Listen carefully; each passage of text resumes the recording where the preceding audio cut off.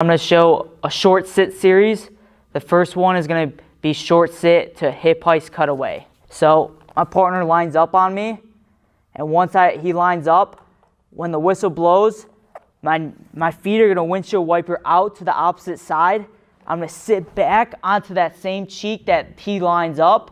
Once I do that, I'm going to create hip separation and cut away. So whistle blows here, feet come away, I sit back, I get on my one butt cheek, not two, one butt cheek. I'm using my elbows to fight his hands.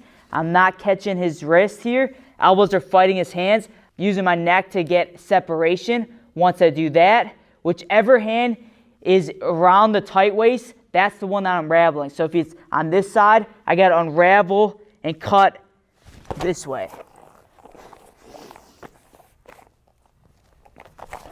Here, cut, cut, cut.